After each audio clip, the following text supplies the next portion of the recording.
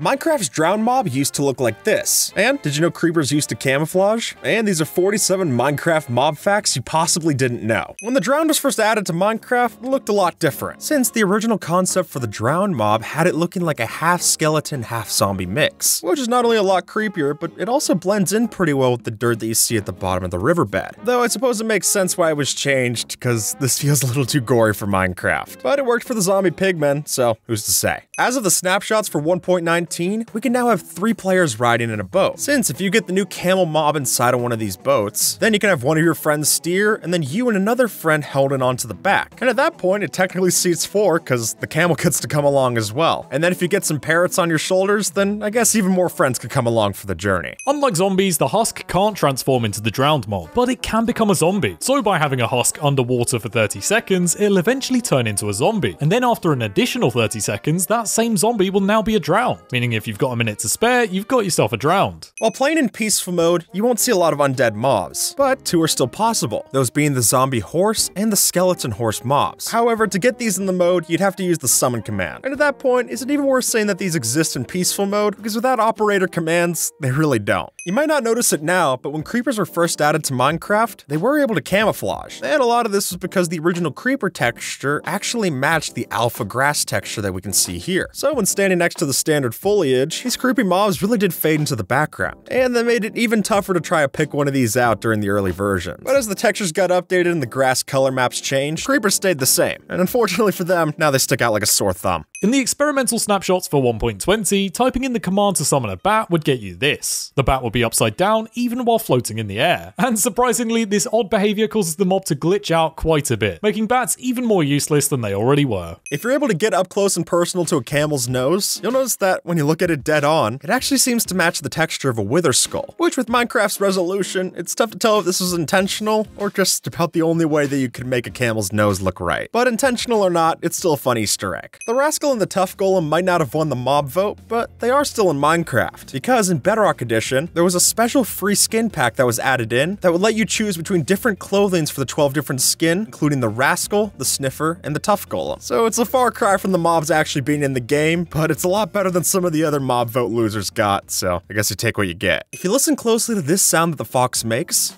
You'll notice that when the fox screeches, the first and third sound that it plays are actually the same, but the third sound effect is reversed with a lower pitch. And funnier still, the fox sounds actually never came from a real fox. They're just heavily edited sounds combined from dogs and cats. Have you ever seen a fox with a beard? Well, don't say I didn't warn you, but if you were to get your fox to hold a wither skull in its mouth, then you'll notice that it looks like the fox has a beard. Or if that's not for you, then get it to hold a sculk sensor and that'll look like a goatee. If we push this cat off a cliff, nothing happens, and thankfully so, otherwise would be a murderer. But the idea behind this is that cats tend to land on their feet, and that'd be why cats in Minecraft not only don't take fall damage, but even if they were to fall into a dripstone spike, they're still not going to get hurt, which is a pretty sweet deal. It's hard to say I'm not jealous. In 1.19, we have chickens that lay eggs, and in Minecraft 2.0, we've got chickens that lay diamonds. That's no joke, although it was meant to be. Back in April Fool's 2013, Mojang added this blue chicken to their fake snapshot that could lay diamonds and lapis lazuli, which sounds great, but be careful since these also had a tendency to explode explode. By this point, everyone's familiar with the rarest mob in Minecraft, but this mob can also be very rare, considering that there's only a rare chance that an arctic fox even spawns in a snowy taiga biome, and then add on to that another 5% chance of that fox being a baby variant, and it gets to the point where if you find one of these, buy a lottery ticket. Your luck's pretty good. You can kill this whole batch of zombified piglins without any of them getting angry. You just need to be precise. Since if you were to kill this mob in one hit, then it doesn't have the chance to update the universal aggression tag on the other monsters. That means with a strong enough weapon and a critical hit, you don't have to worry about upsetting the pack when you pick off a few. This is an iron golem, and this is the love golem. If you put together four iron blocks and a carved pumpkin on top, you'll of course get the love golem. Exclusively found in the Love and Hugs update, this special mob is meant to be a manifestation of the villagers' love, and that's probably the reason why it's passive toward any players or even hostile mobs. Which, yeah, does mean that it doesn't do much, but in fairness, we can't attack mobs in this joke update either, so at least it's not alone. It's impossible to turn a squid upside down with a Dinnerbone name tag. Now don't be mistaken, you can still name a squid Dinnerbone or Grum, but you won't see any visual difference. Even Mojang doesn't know which way's the right way up for this mob. It's just that silly. The Warden's a strong mob, but just how strong is it? Well, it's so strong that if you were to add up the health of the Ender Dragon and the Wither combined, that's how many hearts the Warden has. Folks, that's 250 hearts of health for this one Warden. So you remember the fact that the Wither on Bedrock has 300 hearts. And uh, sorry to any Bedrock players out there, that just sounds terrible to deal with. If you look closely at certain villagers' heads,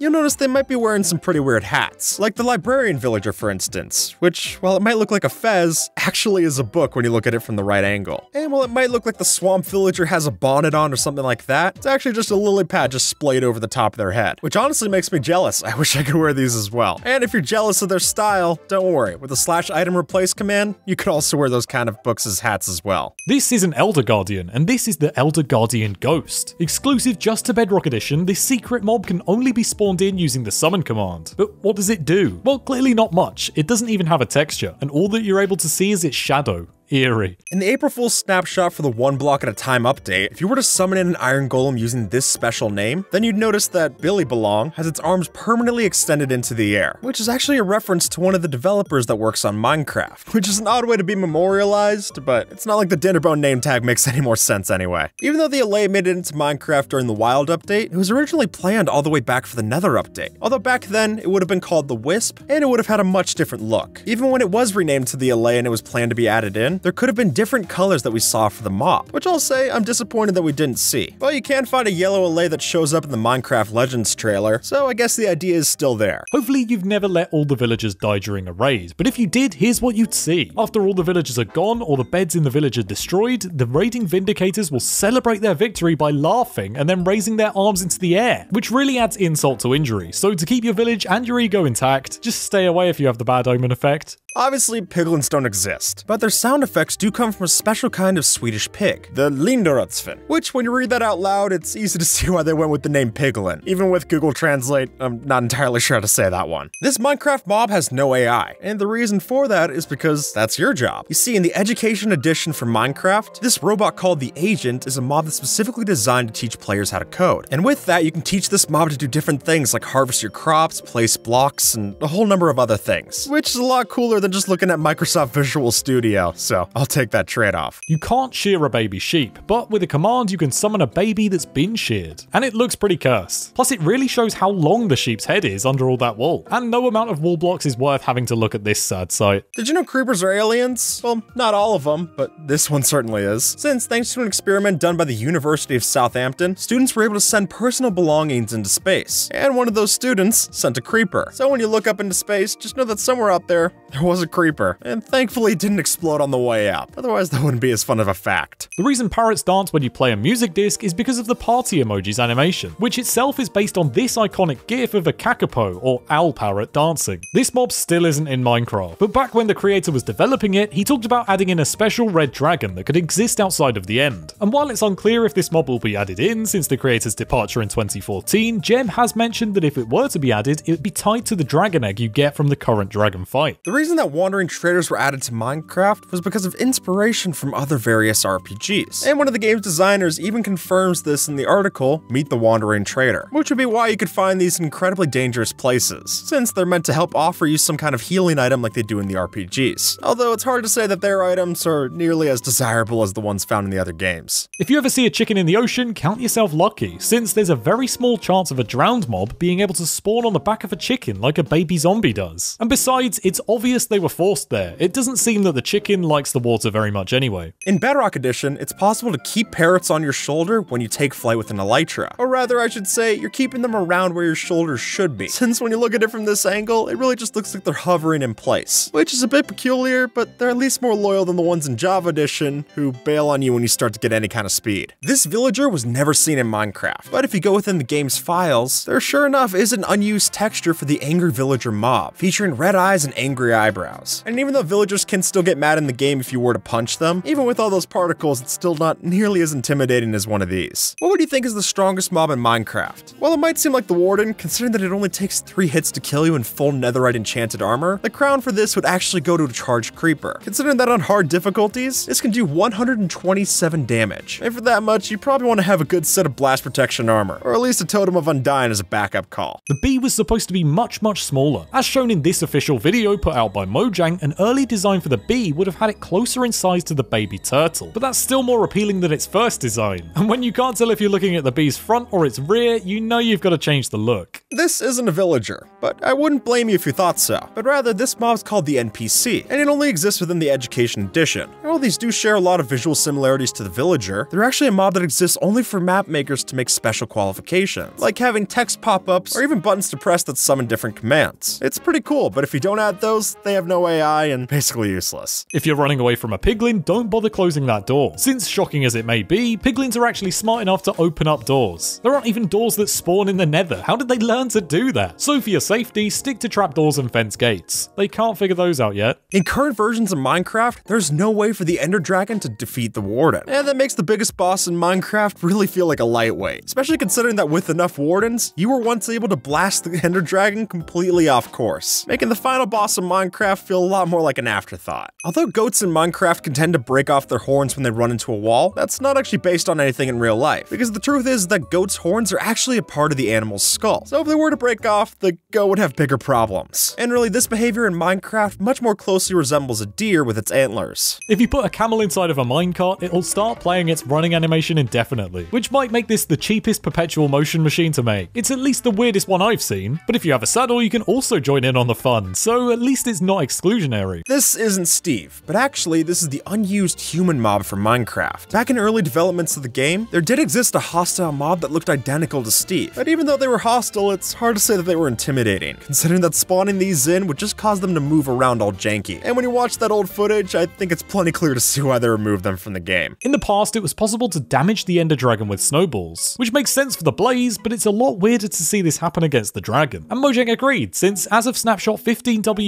15W32A, the dragon no longer takes damage from snowballs. But don't worry, they're still worth keeping around for taking out the end crystals. Alright, pop quiz. Have you ever heard of the Minecraft mob, the Spark? If you haven't, then you probably haven't looked at the game's files, considering that only there's the Shulker's bullet called the Spark. But other than that, how would you even know this? It's not like it spawns with a name tag or anything. But there you go, now you got something for your next Minecraft trivia night. The Ender Dragon doesn't breathe fire, but it does have fire aspect. And you'll see that if you try to shoot a perched dragon with a bow and arrow, this time instead of your arrows colliding, they'll just bounce off. And just in case having your arrows bounce off wasn't enough of a reason to stop, the fire really makes it obvious to cut it out. Before horses were added to Minecraft, there were horses. Notice the quotation marks. Because these special mobs were only in the Java Edition snapshots for the April Fool's update, and they were really just retextured cows and pigs, which did make for a good joke, but shortly after, Mojang worked with Dr. Zhark to add in proper horses into the game, and thankfully they didn't look like this. Why is this wolf's tail spinning? It's not a glitch, but instead this is because the wolf's tail is linked to its health, so low health equals a lower tail. But the opposite also applies, so if you use commands to artificially increase the wolf's health, it'll start spinning like this. And thankfully it doesn't spin fast enough for the wolf to up and fly away. Then we'd have a real problem on our hands.